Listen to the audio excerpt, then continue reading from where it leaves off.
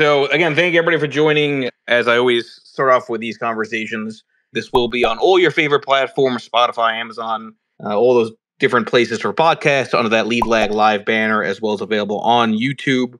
Uh, and like I said, you're always encouraged to come up and engage. With that said, my name is Michael Gayed, publisher of the Lead Lag Report. Joining me today is Willem Middelkoop, who's the founder and CEO of the Dutch based Commodity Discovery Fund, prolific author. His most recent one is The Big Reset, which we'll talk about. Willem, for those who are not familiar with your background, introduce yourself. Who are you? How'd you get interested in markets? And what are you doing currently? Yeah, thanks for the invitation. I just turned 60 and I've been active in investing in financial markets since the 1990s. I started out as a journalist, actually a photojournalist, worked for Reuters and did a lot of journalism, worked for financial television in the Netherlands, was a market commentator on Dutch TV in the early 2000s and took some profit on my real estate investments uh, in the early 2000s and was very interested in the financial system and was very surprised that I uh, was able to finance my real estate in the 1990s so easily. So decided to look into the origin of money and to the history of money. So call myself a student of monetary history and my books, uh, most of my books, I've, I've written eight books in total, published eight books in total. Most of my books are about the financial system, but also on the energy system. I'm also the author of the Tesla Revolution. My books have been printed in eight languages, including Chinese and Arabic. And uh, well, that, that, that's that's it. How involved has the process been in writing those books for you? I mean, you're prolific, obviously, in the way that you think and and put pen to paper. Is it one of those things where you just have this this internal urge to get it out, to put it in a, a formalized book. Talk, talk, about that process. Process. Yeah. I always think it's to me, it's always fascinating just the the process of writing a book. Yeah, it, it's the urge of telling a broader audience, informing them about how I see the world. I always, since I started to study financial system, this was in the middle and late nineties. I, I was actually quite shocked to learn how the financial system is, is organized and structured nowadays with crypto, everybody talks about fiat money and everybody talks about the house of cards. But in, in, I can assure you, in the late 1990s, people didn't understand. People didn't study money. You know, if they weren't aware of the house of cards, and this all changed first when the internet bubble bursted in the early 2000s. Then, of course, after Lehman crashed. And now we're all aware of the debasement of currencies. We're all aware that you need to hedge. We're all aware that you need to invest in all the government can't print. And, and well, I, I was always very busy writing about this stuff. First, I wrote some, well, so some some articles just for friends who invested with me, and then I started to write for a Dutch newspaper, and and and I started to, bl- to write blogs on, on, on websites in the early two thousands, and then I started to work for Dutch television, and I received a, a broader audience and. Besides my work for national TV, I always had this mailing list, so I could communicate directly with a few thousands of the followers. And then Twitter arrived. So um, then the audience grew a bit more. And, and after I, I've been writing some of this stuff in the early 2000s. It was around 2004, 2005 that I started to get really worried about the state of the financial system. And I really felt the urge to put it all in one, one book and to warn people about a coming crisis. And I published my first book in August 2007. And that was just before the credit crisis hit. And well, from from that time on, I always felt the urge to uh, to do some more research, and I but the questions after I published my first book, how can we solve this crisis? And my reaction was always, I don't know. You know, I'm glad I could analyze it that, that we're in a crisis. But I started to get more and more involved with central bankers. I'm part of the advisory board of the OMFIF. OMFIF is like a monetary think tank in London it's it's a place where central bankers and the private sector meet. So I started to learn more and more about how the how central bankers are planning and and, and organizing the system, and that's how I could write the Big Reset. And the undertitle of the Big Reset is the War on Gold and the Financial Endgame.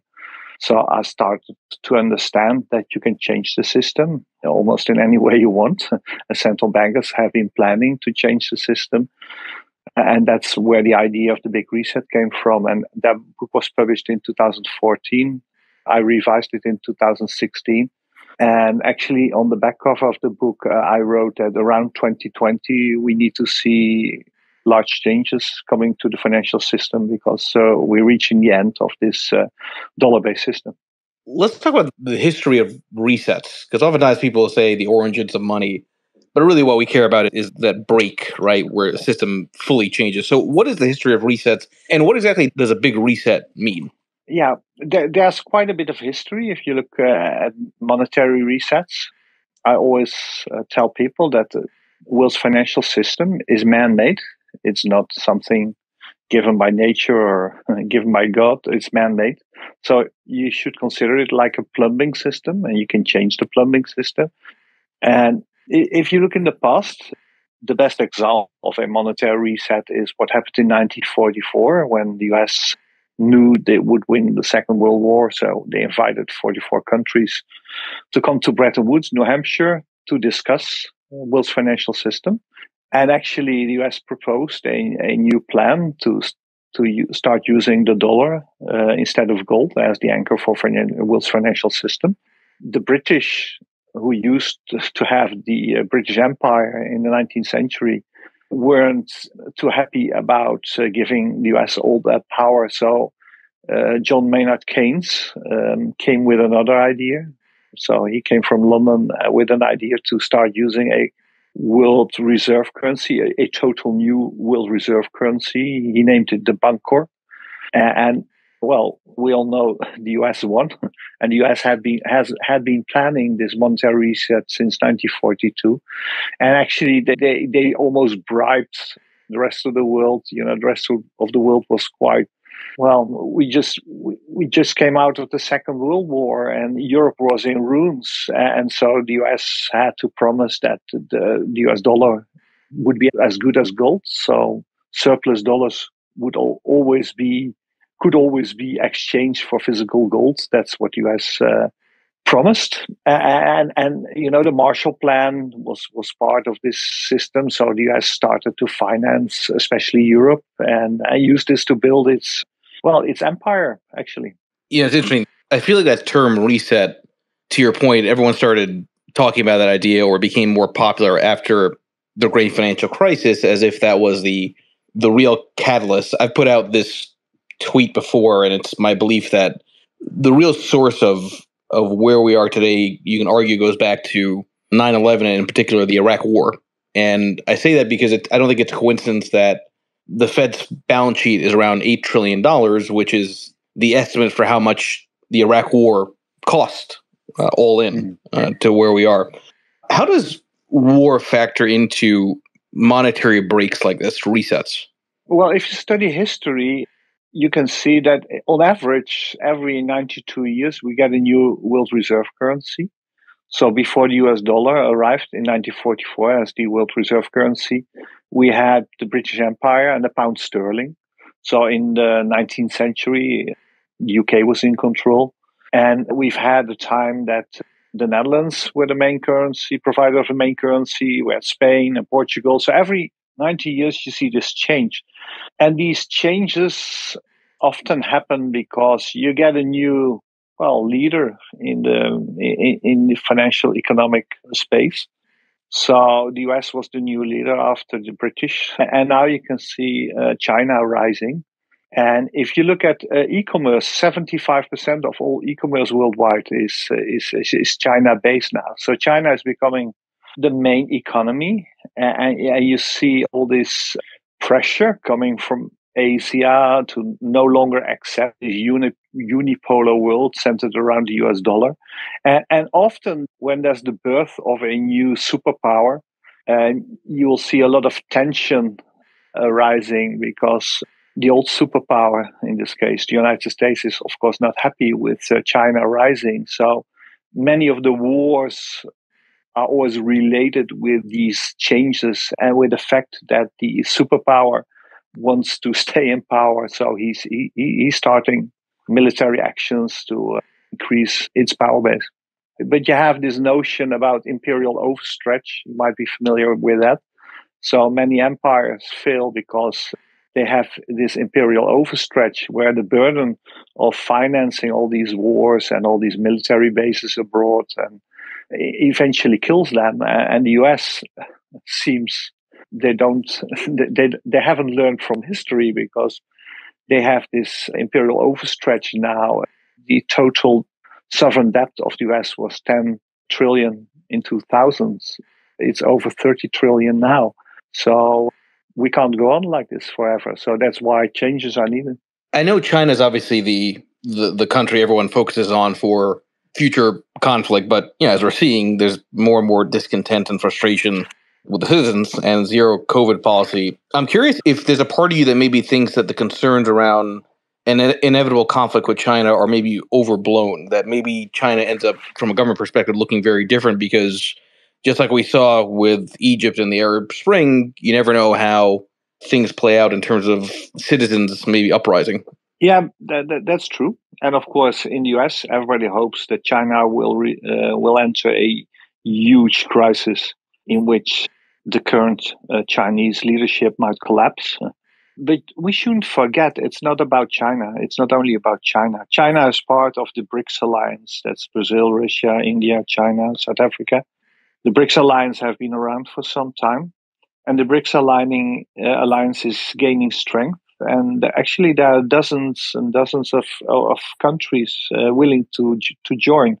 And we've heard uh, Argentina is joining, and we even heard Saudi Arabia is is willing to join next year, and that would be a, a large, a, a, an incredible change. But if you look at this at, at, this struggle from a broader level, you can see after after the uh, Russian invasion in Ukraine, we have all we've seen all the start of all these sanctions from uh, the Western countries, Western world, but there are over 140 countries worldwide who don't support sanctions. These 140 countries are not friends of Putin, but they decided to stay neutral. And most of these countries are just fed up with, with the US being world's policeman and they ask they ask themselves why weren't sanctions applied when the US bombed and invaded Afghanistan or Iraq. So if you look at the number of people living in these 140 countries who don't support sanctions, we talk about over 6 billion people. And the countries supporting sanctions, that's less than 1.5 billion people. So it's really a, a struggle, a fight now between the West, um, which all support this uh, US, well, dollar centered financial system. And, and then there's the rest of the world who, who want to see a, a, multipolar world in which uh, there's more cooperation between the West and the rest of the world.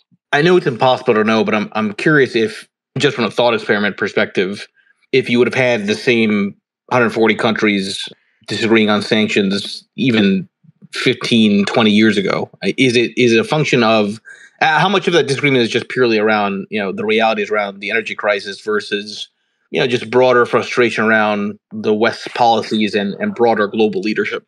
In my presentation, I always show two slides back to back, and one slide uh, shows a map of the world, and it shows which countries have the US as the main trading partner and which countries have China as the main trading partner.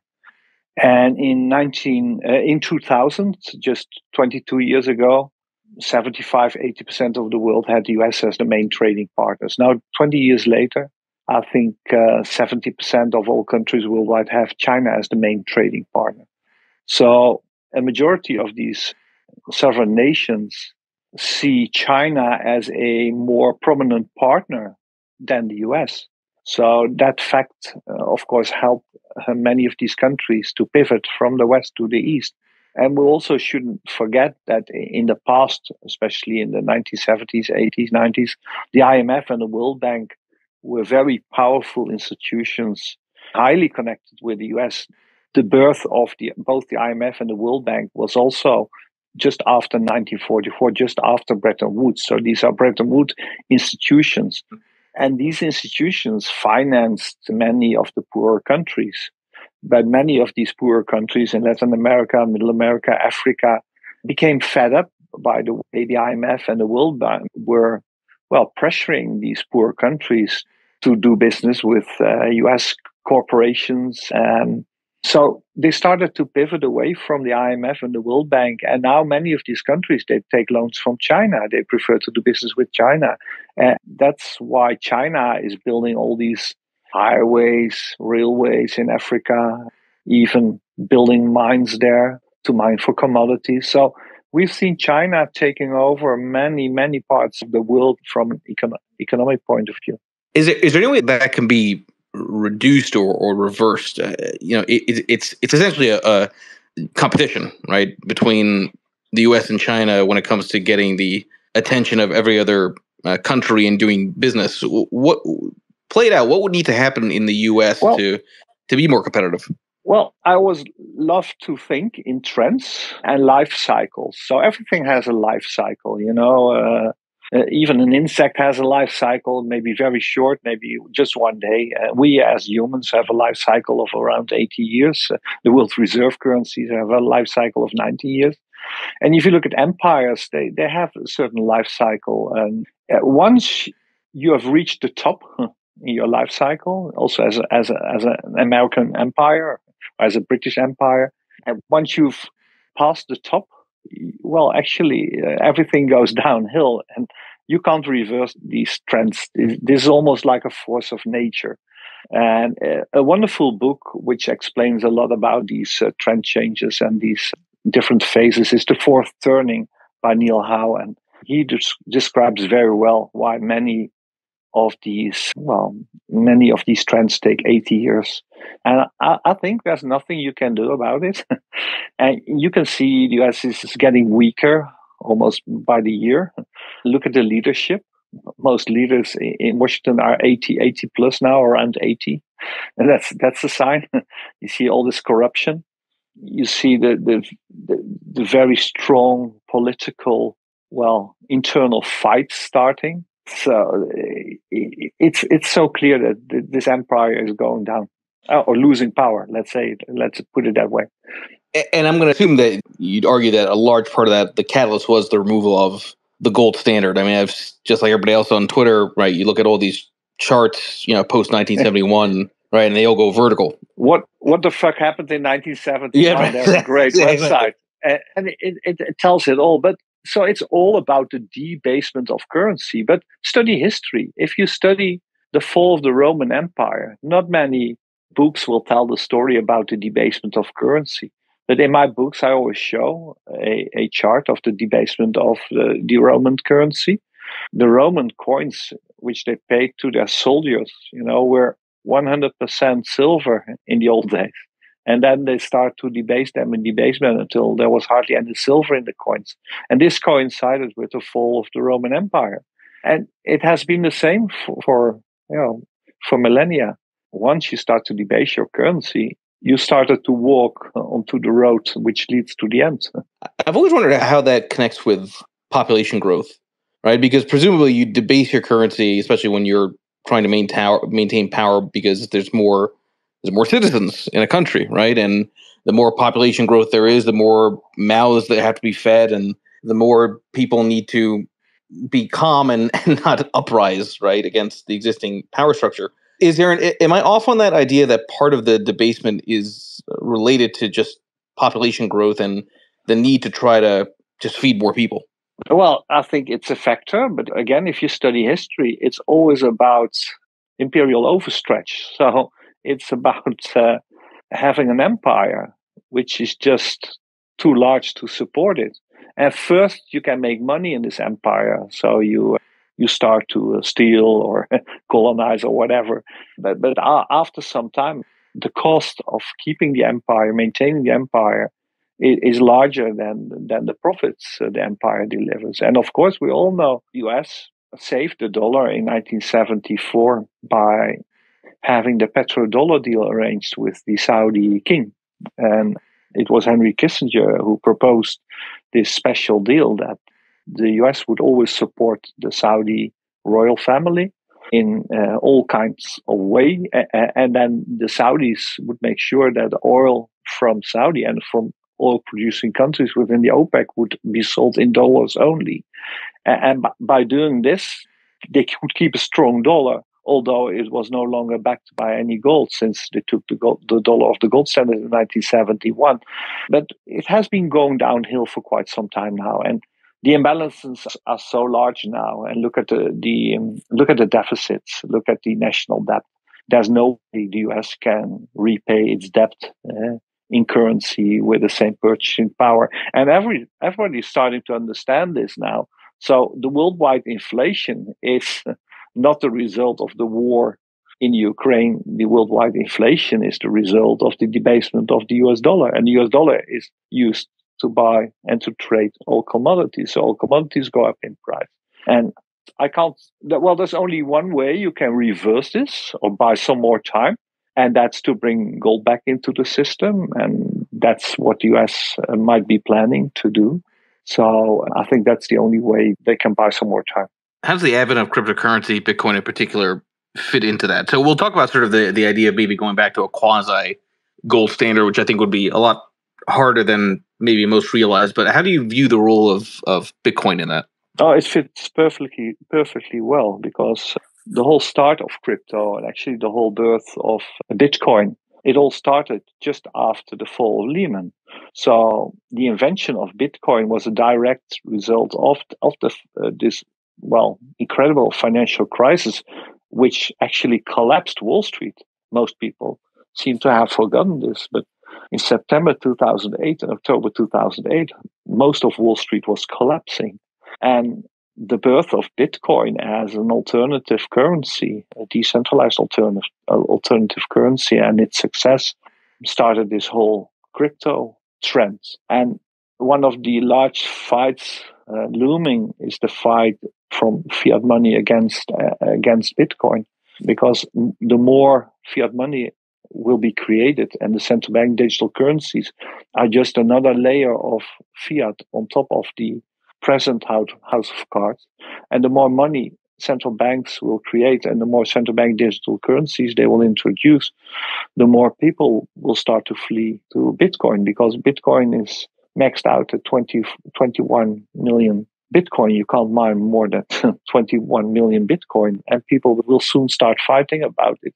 Of course, we're in a strong correction now, and people who are smart will, will, will take this opportunity to add to their Bitcoin holdings.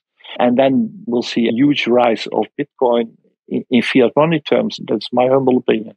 I'm curious, Willem, uh, in all your research, how does the wealth gap come into play when it comes to resets on monetary systems, right? So I've, I've long had this belief, I've made this argument in the media before that, you know, the reality is the notion of having a middle class isn't really based in history, right? That we had that obviously yeah for a large amount of time. But you know, the, the history of the human race would suggest it's much more what we're seeing more of, right? Concentration of wealth around a small percentage, whether it's a fiat based system or a gold based system. That's kind of just the nature of of societies. How do how does widening wealth gaps factor into these these kind of dynamics? Well, if you study all these former empires, I think the middle class in, in the Roman Empire, they were pretty well off, and you know they all had a pretty nice living, and you had the slaves who were doing the work.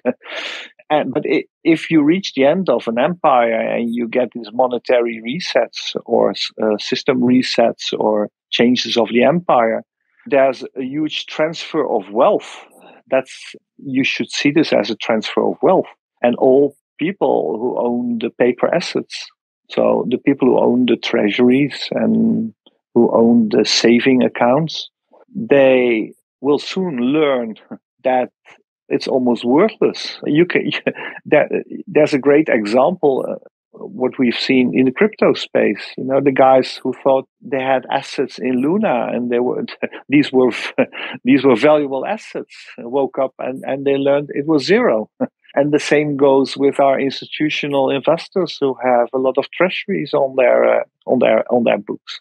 So there's this huge transfer of wealth so people who, who didn't t- took the paper assets but started to trade their paper assets into hard assets and bought um, gold and silver or Bitcoin suddenly will learn they made quite a bit uh, of money and their neighbors who still uh, who still had their saving accounts uh, study, study the hyperinflation Germany in the 1920s or Venezuela or Zimbabwe all these all these. Uh, Argentina is a great example as well. Argentina was the seventh richest country in the world in the 1970s.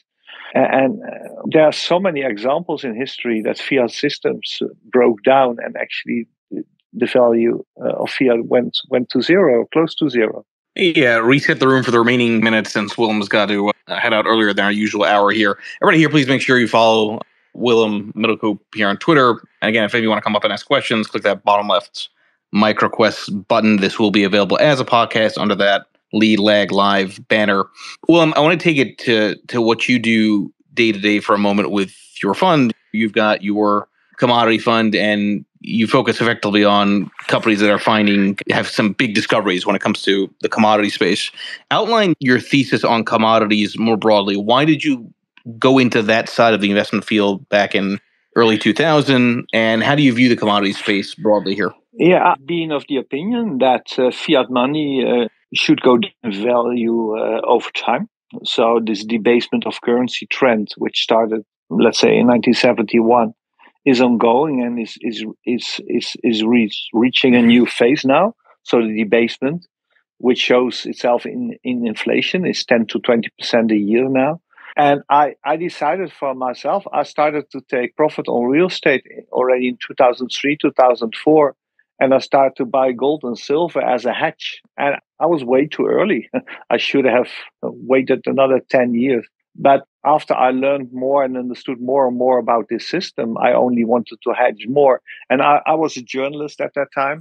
And I stopped working as a journalist in 2008, just after the Lehman crash, because I was quite convinced, based on my study of monetary history, that investors would be looking for hard assets in, in, in the not too distant future. So actually, I started two companies in 2008.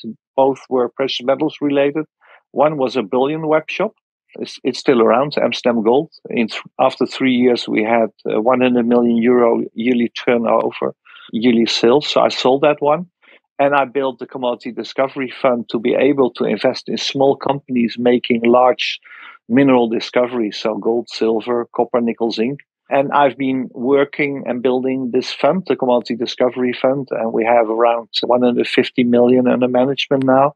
This is all money from high net worth investors who just want to diversify out of fiat into hard assets. And we try to take position in small companies working on significant uh, metal discoveries worldwide. So actually we we have a database and follow over 1000 exploration companies worldwide but we only invest in the top 100 and we first started as precious metals investors but now we are almost metal agnostic because it doesn't matter if you discover uranium or nickel or copper or gold if you make a large discovery as a small exploration company, you create value. And our exit strategy is to wait for the buyout because large companies like BHP and Rio Tinto will always buy out a small company making a large discovery. And we've had 75 buyouts since 2008. So that's that's our model. Let's go to, uh, for a question. Uh, I, I don't agree with you because we're in a downtrend for quite some time now with Bitcoin. So this means the masses, the herd is selling, not buying. And, and we've seen this time and again in Bitcoin. Bitcoin has these great cycles. You always go down 70, 90%, and then you rise a few hundred or even a few thousand percent. And so many people got scared now because in the crypto space, there's so much cheating going on. There's so many liars. It, it, the crypto crowd is worse than the Wall Street crowd. But Bitcoin is different. You know, Bitcoin is, is really decentralized so the fall of Luna and FTX, which is great, that's happening. All the cheaters are are being removed from the space, and people will soon learn that Bitcoin. It, it, it's about the fight of fiat against Bitcoin, and there will be so much more debasement of currencies because the central bankers, central planners can do nothing but print money and print money. There's only one big risk: is that all the central bankers, central planners will start a huge war on Bitcoin and close the on and off ramps. And that's the only real risk I see for Bitcoin. Well, I will say also, I think the reality is, and last year was the real tell on this, right? Which is why I started putting laser and gold eyes. Uh, the moment you had everybody, every single actor, every single celebrity you could imagine putting laser eyes, you could tell that that was going to be a near term top, sure. which sure. right, which meant a lot of people also got in And you know, there's a well-known behavioral finance dynamic called the snake bite sure. effect. Right, once bitten, twice shy. Right, so so I do think that there's probably just because of the sheer number of people who probably got in towards the top, there's probably a lot of people that would never touch cryptocurrencies broadly ever again, which you can argue is actually probably bullish. Yeah. But there's always, uh, don't forget, we're 8 billion people uh, in this world. I've got a lot of followers on Twitter, but it's only 125K. you know, most people don't read my stuff. Most people, in this, in this spaces, we have 350 people here, you know, that that's nothing. So we we love we all 350 our, of you on the space. Yeah, sure. Just to be yeah, clear. Sure. okay. But but you know, the majority of the people, they're watching soccer now. It's Brazil, Switzerland, or they're watching their daily soaps, or they're having dinner, you know. They don't spend their evening listening to this kind of stuff or researching this. But they will wake up once inflation hits them and they start to learn from their friends and their uncles, and then they'll start to look into Bitcoin. We see this in our fund. We used to be quite small, let's say 30, 40 million asset management. Since the inflation started, since COVID, we see a huge inflow. And, and we don't advertise, but people are wait, waking up. They're starting to they want to diversify. They're looking for hard assets. We even saw the first pension fund in the Netherlands selling treasuries and buying physical gold, which is almost impossible for an institutional investor to do. So they will learn it the hard way. And, and some of them will buy gold, some of them will buy silver, some of them will, will buy Bitcoin. But smart investors, we have these discussions with high net worth every day in our office. And they understand you should own uh, real estate, you should own physical uh, metals, you should own, you should diversify, but you should own it all. But mo- of course, most people are not rich enough to diversify that way. But there so many people have tens of millions or even hundreds of millions or even billions and they want to get out of the system or at least diversify i'm curious i want to go back to the commodities discussion for a bit because you're you're obviously very active in the space where are some of the more interesting trends uh, occurring in the commodity space beyond the the obvious discussions around gold and oil. I mean, uranium gets talked about quite a bit, but yeah. what else is, is intriguing, you know, from your perspective? The battery metals. The battery metals. We're we're in this very special moment in history where we have debasement of currency, we have growing shortages in many metals. The world mine production can't keep up with demand and you should be aware that opening a new takes 10 to 15 years. We don't make enough new discoveries. So there will be shortages, especially after 2025. If the world doesn't reach a worldwide depression, you'll see shortages everywhere. We've done a lot of supply and demand studies, and the next 10 to 20 years will be incredible for commodity investors. I was stupid enough to start a commodity fund in 2008. That was the top of the last cycle we've been rowing against the stream for the last 10 to 15 years because there was this down downtrend in commodities. Everybody everybody wanted to be in startups and tech. And now the market has has turned, just like in the market turned in 2000 after the tech bubble burst. And if you look at it from a technical point of view, if you study it from Elliott Wave's point of view, we just a corner. Um, the commodity related investments were at a price at a 100 year low in the late 2020. So we just turned the corner, and there's so much there's so much revaluation to be expected for the whole commodity space. And we concentrate on the battery metals because you have this huge demand. You have the green rev- revolution, you have the uh, Tesla revolution, demand for copper and nickel, and all these metals will be well much larger than we can, can produce. I'm curious, process wise, how do you go about finding these companies that are focused on the discovery side are you what does the due diligence look like when you're when you're putting yeah, that, portfolio together? That's the hardest part but we have a team of researchers worldwide. We have at least four or five researchers working on this full time every day. We have one guy in hong kong who um, watch the australian markets for us. So we have one guy in, the, in north america. We have a few people in our office in europe. We get an awful amount of uh, broker research we even pay Canaccord to get their research directly. So uh, we have all the newsletters from geologists, and we built this system for the last uh, well almost 15 years, and now we build it in a way that each and every discovery being made by a listed company, and there are 1,500 listed exploration companies worldwide, we have on our radar within 24 hours. That's a good place to end this space, Willem. I certainly appreciate you spending the time with us. Hopefully, we'll do another one of these with several other thought leaders. Everybody, please make sure you follow Willem Middelkoop, and again, his book is available on Amazon. Multiple books, actually. Willem, any any kind of final thoughts here before we uh, close off the space for the audience? Yeah, you don't have to buy my book on Amazon. You can do it if you want a hard copy, but you can do- download it for free on at our website. So if you go to the Commodity Discovery Fund website, just Google download the Big Reset Commodity Fund. You'll find the link, and you can download the full manuscript right away even better. Thank you yeah. for joining. Thank you, Willem. and uh, everybody enjoy the rest of your day. Thank you, Willem.